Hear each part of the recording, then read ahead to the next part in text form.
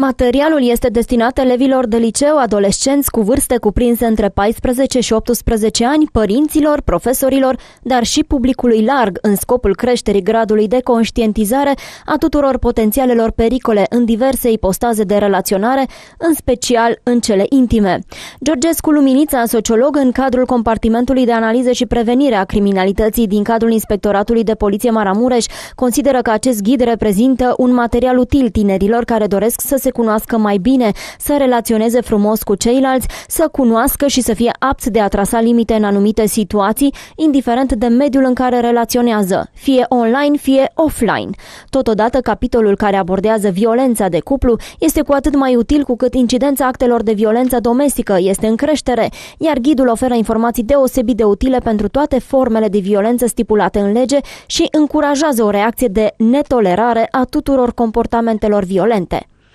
Ghidul este structurat în patru capitole care acoperă tematici precum siguranța online, relații sănătoase, violența în cuplu și legislația în domeniu.